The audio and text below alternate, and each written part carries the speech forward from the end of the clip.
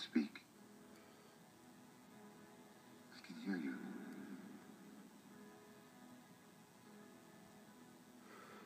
Who are you? I am the creator of a television show that gives hope and joy and inspiration to millions.